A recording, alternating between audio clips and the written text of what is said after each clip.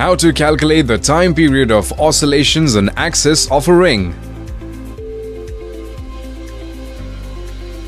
Question a thin fixed ring of radius 1 meter has a positive charge 1 into 10 raised to the power minus 5 coulomb uniformly distributed over it. A particle of 0.9 gram having a negative charge of 1 into 10 raised to the power minus 6 coulomb is placed on the axis at a distance of 1 centimeter from the center of the ring. Show that the motion of the negatively charged particle is approximately simple harmonic. Calculate the time period of oscillations.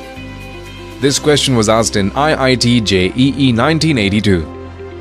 Solution in an earlier video, we have studied that the electric field due to a uniformly charged ring of radius r at a point distant x from its center on its axis is given by the relation E equal to kqx divided by x square plus r square raised to the power 3 by 2.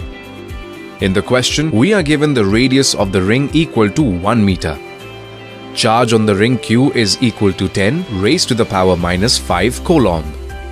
Mass of the particle is equal to 0.9 into 10 raised to the power minus 3 kg. Charge on particle Q is equal to 10 raised to the power minus 6 coulomb. Therefore, the force acting on the negative charge Q will be F equal to Q into E.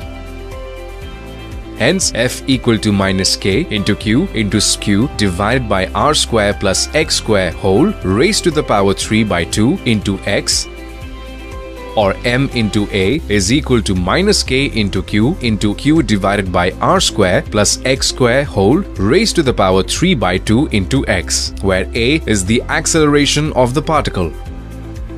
So A is equal to minus k into q into q divided by m into r square plus x square whole raised to the power 3 by 2 into x.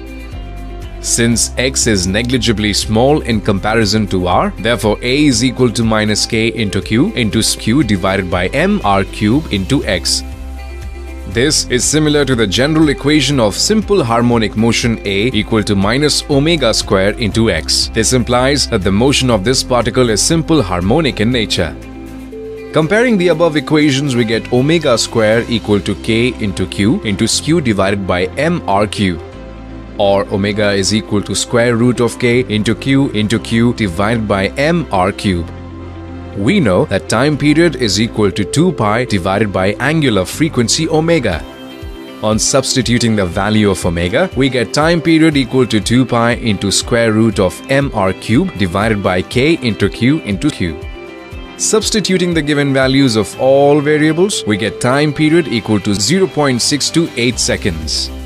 This concludes our video. Students must follow this methodology for solving similar problems by trying to derive the expression for acceleration of particle in the form a equal to minus omega square x. This will enable them in finding the time period and frequency of the oscillations. Please like, share and comment on the video and don't forget to subscribe to our YouTube channel. For more interesting and educational videos to earn while you learn, download Extraclass app from Google Play Store and get rewarded for study.